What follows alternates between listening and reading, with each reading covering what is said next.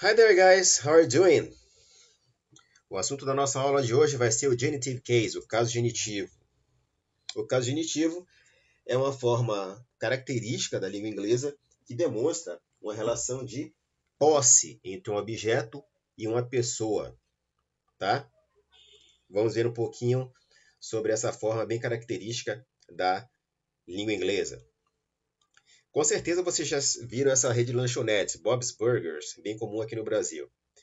Observe que aqui no final tem um apóstrofo e um S. Esse símbolo aqui é um apóstrofo, ok? Essa marca também é bem conhecida aqui no Brasil, Hellmann's, a maionese. Tem a mesma estrutura no final.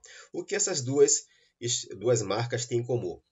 Tem esse sim, essa estrutura, apóstrofo S, que como eu falei no começo da aula, ela indica uma relação de posse. Tá? Uh, a Bob's Burgers, a lanchonete da Bob's, ela foi fundada por um jogador de tênis estadunidense brasileiro chamado Robert Falkenberg, em 1948, na verdade. Tá? Perdão, foi fundada em 1952. O nome dele era Robert, e Bob é um apelido comum para quem tem esse nome nos Estados Unidos. Quem tem o apelido, quem tem o nome Robert é chamado de Bob, é uma forma carinhosa, tá? Então, ele colocou o nome dele na lanchonete, só que em vez de colocar Robert, colocou Bob. E para dizer que a lanchonete era dele, ele colocou apóstrofo e o S, Bob's Burgers. A maionese Hellmann's segue o mesmo princípio. Ela foi fundada por um alemão no começo do século XX, lá por 1919, por aí. E o sobrenome dele era Hellman. Então ele colocou o apóstrofo e o S, né? Ele vendia a receita de maionese que era feita pela esposa dele. Então, toda vez que vocês virem essa estrutura, apóstrofo S, vocês sabem que a gente está falando do caso genitivo. Como acabei de falar, ele indica a relação de posse. É caracterizado pelo uso do apóstrofo e o S depois do substantivo. Esse substantivo pode ser um ser animado ou ser inanimado. Relembrando, ser animado tem vida, pessoas, animais. Seres inanimados não têm vida, são objetos, ok? Eu coloquei um exemplo aqui para ilustrar. Nuno's camera. A câmera de Nuno. Eu estou dizendo que essa câmera me pertence, ou seja, eu tenho uma relação de posse com esse objeto. Então, camera, aqui a setinha, está se referindo a mim, ou seja, ela é minha propriedade. E para marcar essa propriedade, eu coloco essa estrutura, apóstrofo US, Nuno's Camera. Vamos ver como a gente faz o caso genitivo com seres animados, seres que têm vida. The cat's eyes are blue. Os olhos do gato são azuis. The boy's book is yellow. O livro do garoto é amarelo. Eu estou dizendo que o olho pertence ao gato e o livro pertence ao garoto. Preste atenção na ordem, tá? The eyes. The cat's eyes. Os olhos do gato. The boy's book. O livro do garoto. Perfeito? E como é que a gente faz o caso genitivo com seres inanimados? Vamos ver agora. Mesmo princípio. Saturn's rings are huge. Os anéis de Saturno são gigantescos, são grandes, tá? Saturno é um planeta, como o planeta ele não tem vida em si, na verdade, então nós também podemos usar o caso genitivo com ele. Outro exemplo. The company's employees work hard os empregados da empresa trabalham duro. A companhia, a empresa, não tem vida própria. Ela é um prédio, uma corporação. Não tem vida própria. Mas as pessoas que estão lá têm vida própria, obviamente. Mas estamos nos referindo aqui com relação à companhia, nesse exemplo, e ao planeta Saturno. Eles são considerados objetos, seres inanimados mas também utilizamos o caso genitivo para indicar essa relação de posse. Regrinhas do caso genitivo. Regra número 1. Um, quando o substantivo está no singular, colocamos S, apóstrofo S, após o substantivo. Vamos ver como fica. Homer's wife is Marge. A esposa do Homer é a Marge. Homer está no singular, eu coloco apóstrofo S e fiz o caso genitivo. Próximo exemplo. Spider-Man took Captain America's shield.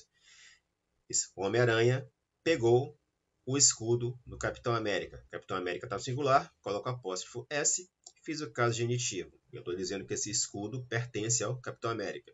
Aqui eu estou dizendo que a esposa de Homer é Marge. Segunda regra: quando o substantivo está no plural ou termina em S, colocamos apenas o apóstrofo. Preste atenção nisso. Julius' wife is Rochelle. Julius é um substantivo próprio, ele já termina com a letra S. Então, como já termina com S, eu só coloco o apóstrofo. A esposa de Julius é a Rochelle. Next.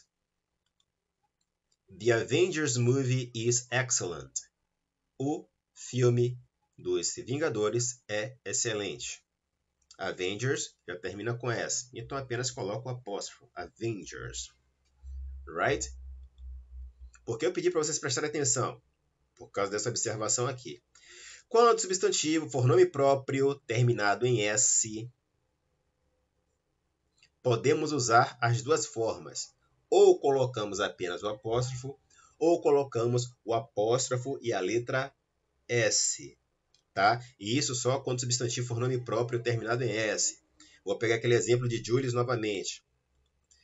Nós vimos que eu coloquei apenas o apóstrofo naquele primeiro exemplo, Julius' wife is Rochelle, mas eu posso colocar também essa forma, Julius, apóstrofo S, wife is Rochelle. Julius' wife is Rochelle. Então, no caso de um nome próprio terminado em S, eu posso colocar as duas formas, só apóstrofo ou apóstrofo e S. Só vai ter uma pequena diferença na pronúncia. Aqui eu pronuncio Julius e aqui eu pronuncio Julius's.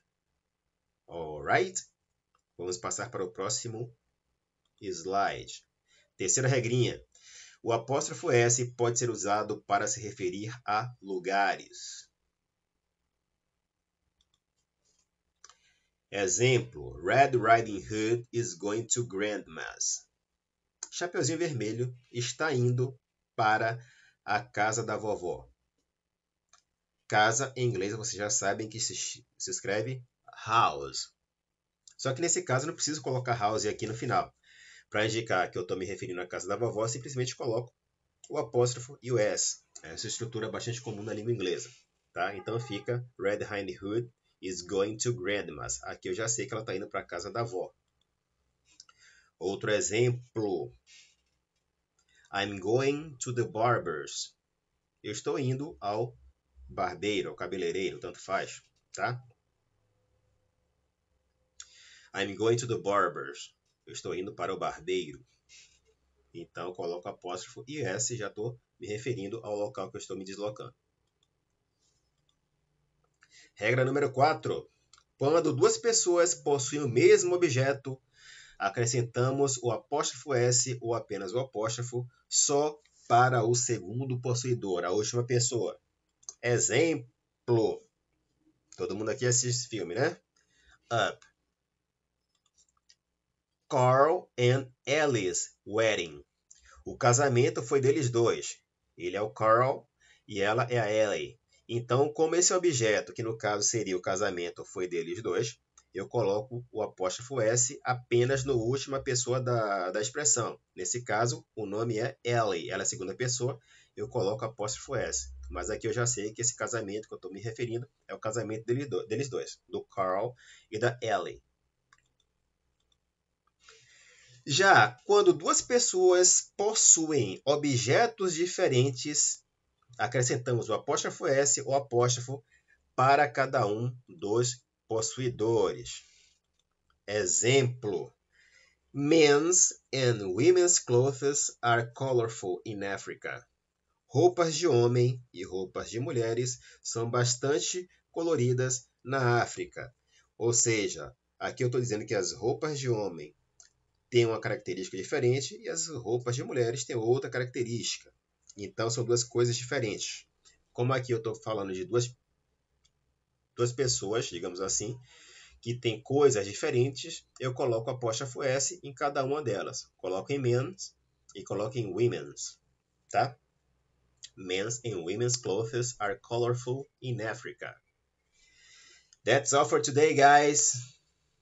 Keep on studying. Take care. Stay at home.